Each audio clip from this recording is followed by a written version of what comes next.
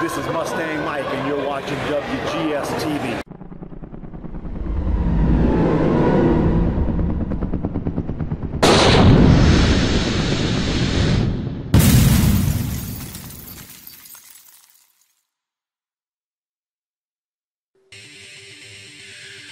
Don't adjust your computer screens, guys and gals. It's time for Super Mario Brothers 3. Um, if you guys have seen the previous installments, yeah, I've been trying to do an LP of uh, Mario Brothers 2, and, and since I was having so much fun with that, as a the incomparable one Lance Moss will attest to, I figured Very you know, much.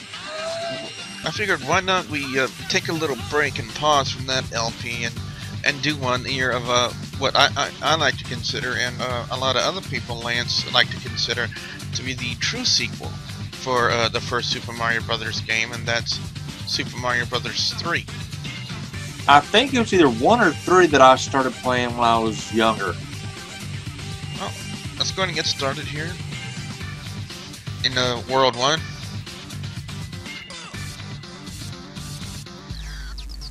And like I said, you know, you know, there, there are a lot of major differences. If you notice, like in uh, Mario Brothers 2, at each level there was no time limit, but also the exact same time there were no really like traditional power-ups. There were no like fire flowers or or Koopa Troopas. It was basically a story, you know, that like I said, the uh, Nintendo took, you know, from Japan, and they made it into a, what was a different game. They made it into a, a Mario game. You know, I guess just to I don't know to be lazy or anything like that. I really don't know the exact story. Um, uh, one thing I did like, well, oh shoot, oh dang, oh well.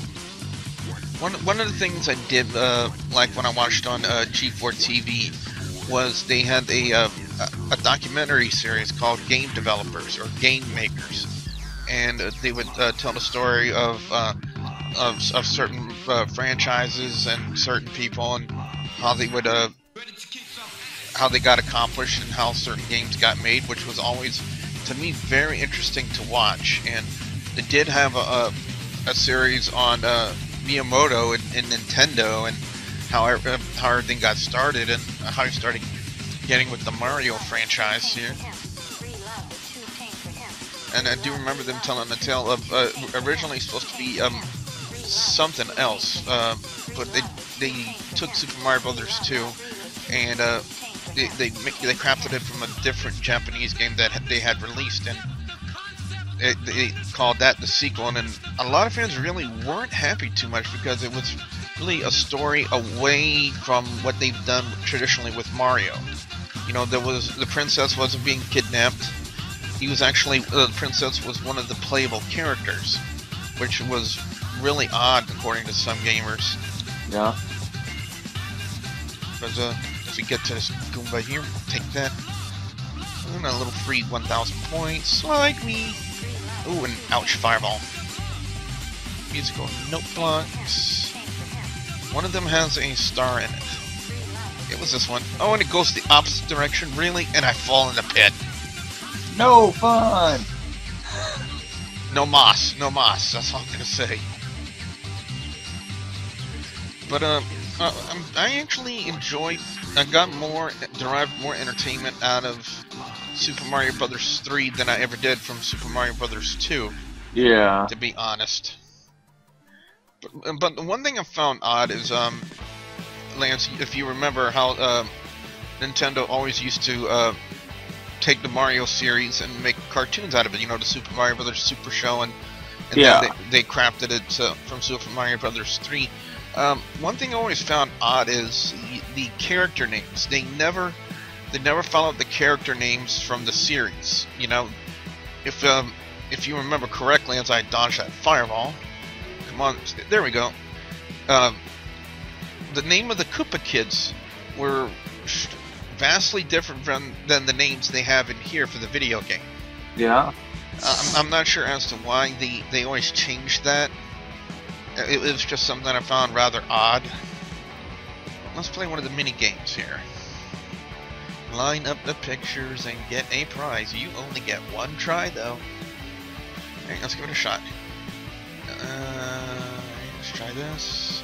Yeah. Oh, alright, we gotta line up Fire Flower. Oh, alright, let's see. we Get it. Oh! Oh, dang it. Let's go to Boom Boom's castle. Yeah, you heard me right. But there is a hidden secret in this castle. Those of you who don't remember it, I I remember it very, very well. Has to do with the uh, the ever popular warp whistle, and I can't get it with the fire flower.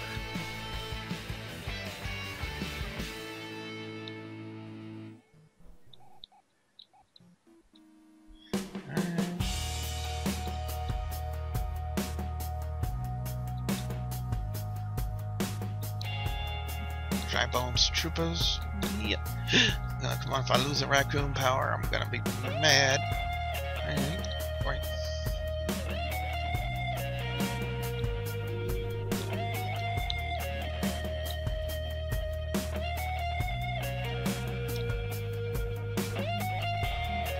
Watch this go up here. And now look at this, Lance. Yeah.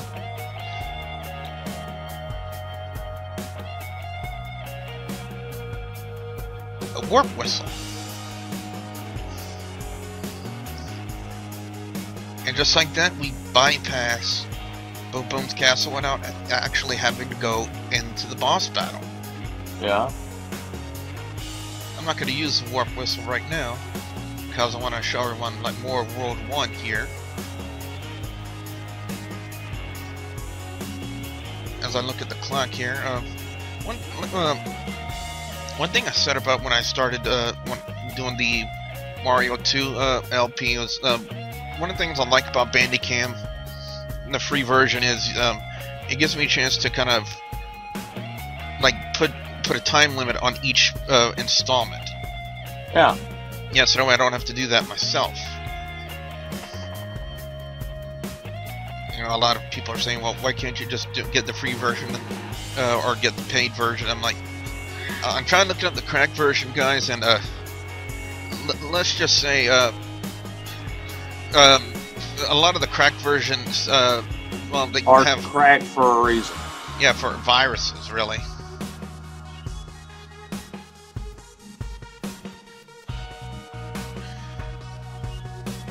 Um, I know we haven't had a chance to visit Toad's house in this world. Uh, get away from me. You know, whenever time you visit Toad's house, gives you an item. You can use it that way. Um, if you need a power up before a level starts, you can get one. I think there's something here. I'm not entirely positive about it. Uh, oh, there's a one up, and I'm gonna lose the opportunity to get that. So. But um, if you guys are, wondering if I'm going to continue the uh, Mario Brothers 2 uh, series, I'm, I, I will. I, I'm- will as, as soon as I uh, feel more comfortable with uh, going back to Mario 2 and the frustration. By the way, James, I freaking hate you for that. James Bowley. Man, I. Oh, no, you saw that little bit of a trap right there. That that Yeah. Trooper right there. Very, very sneaky. Alright, well, let's visit Toad's house here. Pick a box. Its contents will help you on your way. Lance, you know what? I'm going to give you the honor and the pleasure of picking the first box. Uh, three. The one closest to Toad. Right here? Yeah. Oh, a, a mushroom. Mario always did love his magic mushroom. Oh wait, that's Jack Swagger.